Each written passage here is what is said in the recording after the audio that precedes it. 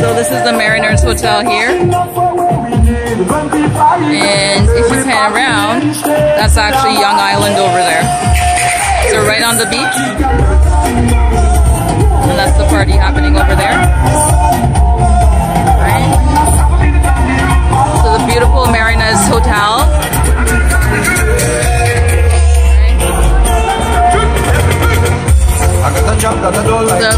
Different um,